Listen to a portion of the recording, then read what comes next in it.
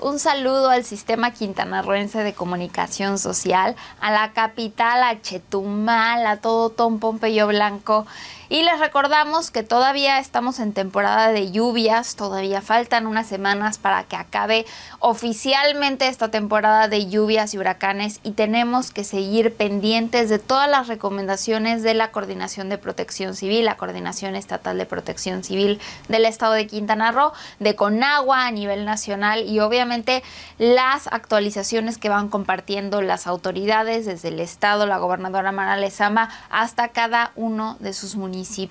por eso es muy importante que les invito a que sigan en redes sociales y estemos conectadas y conectados con la última información. Y hablar de seguir en redes sociales, eh, un ejercicio que ya es desde hace varios años, pero que me parece muy interesante, es que las sesiones de cabildo son abiertas. Las sesiones de cabildo pueden ir las personas a escuchar, pero sobre todo se pueden seguir a través de redes sociales en los municipios. ¿Y por qué es importante las sesiones de cabildo que se hacen cada ciertos días, cada cierta semana? Es que ahí se discuten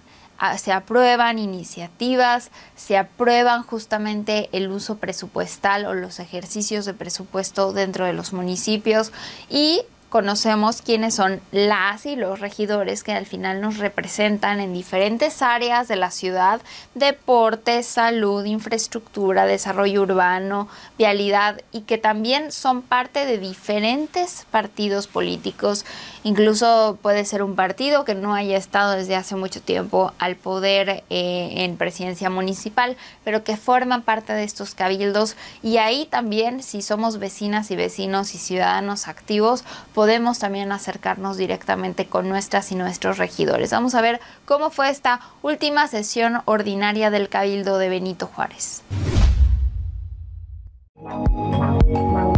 En el marco de la tercera sesión ordinaria encabezada por la presidenta municipal Anapati Peralta, el Cabildo de Benito Juárez aprobó por unanimidad el nombramiento de los integrantes del Comité Técnico del Fideicomiso de Administración y Pago de los Recursos Públicos que se generen por el concepto del derecho de saneamiento ambiental, quienes se encargarán de la aplicación de los mismos de una forma responsable y eficiente. De igual forma, Napati Peralta confió que los otros cuatro integrantes junto con ella de dicho comité, que son el síndico Miguel Ángel Centeno Cortés y los regidores Samuel Mollinedo Portilla, Juan Manuel Torres Paredes y Silvana Guadalupe Córdoba Huicap, se conducirán con responsabilidad como lo han hecho en los últimos dos años para revisar y en su caso aprobar los proyectos para la comunidad. Hoy, como bien lo comenta el regidor y todos en este cabildo, creo que estamos dando y depositando un un voto de confianza, pero sobre todo por los resultados que hemos obtenido. Y renuevan su compromiso con la Secretaría de Seguridad Ciudadana y Tránsito de nuestro municipio, que su labor es crucial en la construcción de la paz de nuestro municipio, en tener un campus seguro. Les pido que redoblen los esfuerzos, que den el mil por ciento de sus capacidades, porque las y los cancunenses lo exigen, lo merecen y debemos responder hacia esa confianza depositada en ustedes, también en nosotros. Otro sentido, por la importancia de su trabajo en materia de seguridad en la ciudad, el cuerpo cabildar ratificó por unanimidad y toma la protesta de ley a David Flores Cervantes como director de Seguridad Ciudadana,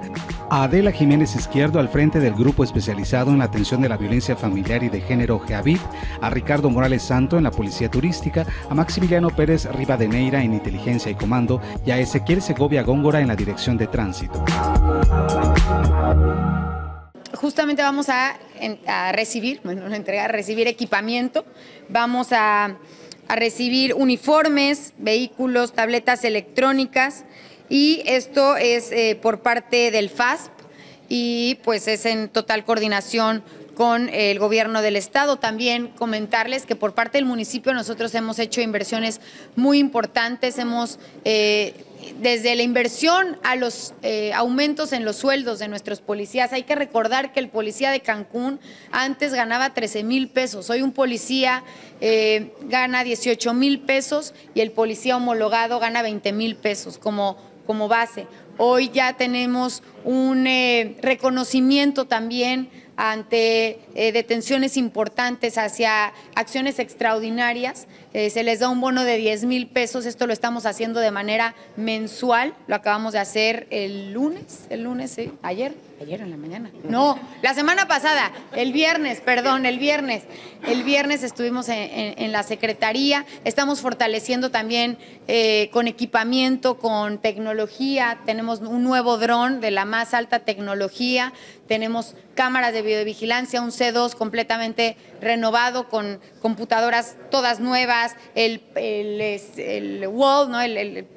la, pantalla, que es igual eh, toda una eh, pantalla completamente nueva. los PMIs, que son 70 PMIs que se instalaron eh, por diferentes puntos de la ciudad, que se suman al C5 también como espejo, y también las cámaras de vecinales que estas cámaras también ayudan a que haya una colaboración con las y los ciudadanos. Thank you. Asimismo, agregó que en ese gobierno no se tolerará el mal actuar de ningún servidor público y mucho menos de los responsables de la seguridad y tranquilidad de habitantes. Por ello, los exhortó a ser impecables en su labor, ejemplo de orgullo y ser buenos líderes dentro de sus direcciones para atender a los ciudadanos y turistas. También se autorizaron por unanimidad los nombramientos de los representantes de los sectores agrario, obrero y popular y de las asociaciones civiles como vocales de la Junta Directiva del Sistema para el Desarrollo Integral de la Familia, DIF municipal, cuya labor estará enfocado en atender a ese núcleo de la sociedad y los grupos vulnerables de la población. Este en este gobierno no toleramos el mal actuar de nadie, pero mucho menos de los responsables de la seguridad y de la tranquilidad de nuestro municipio. Por eso les exhorto a ser impecables en su labor, a ser ejemplo de orgullo a ser buenos líderes dentro de sus direcciones, a ser responsables también del actuar de todos los que estén bajo su mano y a siempre, siempre tener el compromiso con las familias cancunenses, con nuestros miles de visitantes que llegan también a nuestra ciudad. Efecto de realizar actividades para promover y proteger los derechos de los habitantes en presencia del director de la Oficina de la Defensa del Consumidor, ODECO, Zona Caribe Israel Malacón Osuna, se votó por unanimidad a realizar un convenio de colaboración con la Procuraduría Federal del Consumidor Profeco para que la administración actual comisione a dos abogados que serán capacitados para dicha instancia para brindar asesorías gratuitas y atención de consulta. Nuevamente agradecerle a la Profeco por todo el apoyo, por ese trabajo equipo y colaborativo y decirles que nos da mucho gusto, querido Israel, eh, volver a, llevar a cabo este convenio que nos servirá eh, sobre todo para la protección del consumidor de las y los cantonenses. Para finalizar, se avaló por unanimidad la integración del comité para la elección del delegado de Alfredo B. Bonfil, en el que estarán Miguel Ángel Centeno Cortés como presidente, Juan Manuel Torres Paredes como secretario y como vocales Silvana Guadalupe Córdoba Huicap, Logística, Marcos Basilio Saldívar, registro de candidato, Carlos Enrique Ávila Lizárraga como padrón de ciudadanos, Landy Canché Pantoja en capacitación, Olga Esther Motus, impugnaciones y resoluciones. Es una muy buena pregunta, hacer el, global de todo lo que se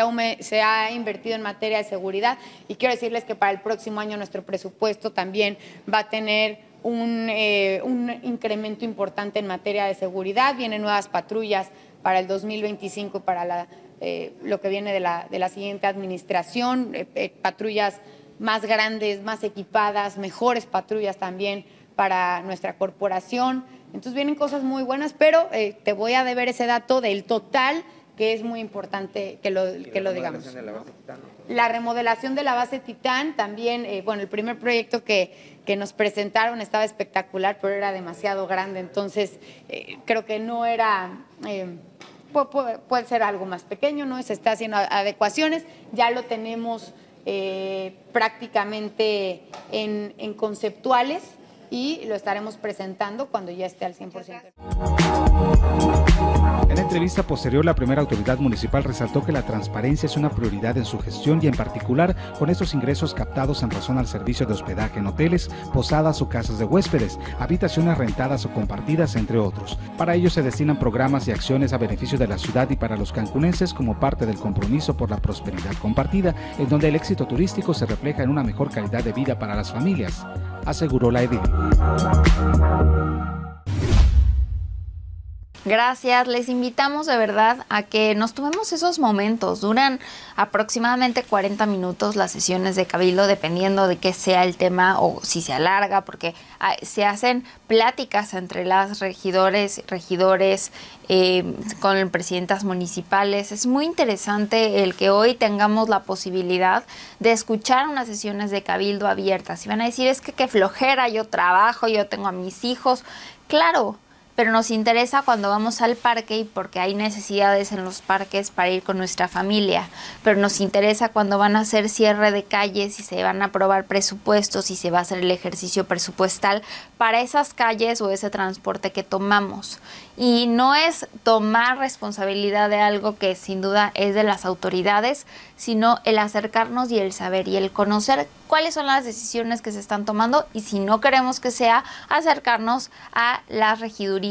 o a los ayuntamientos para buscar la manera en la cual podemos contribuir o pedir algo o hacer una denuncia o ir con las autoridades pertinentes. Y esto es parte de vivir y ser una ciudadanía participativa que también se hacen, bueno, invitaciones a que se voten en los presupuestos participativos que cada vez se hacen más grandes, lo cual me parece genial.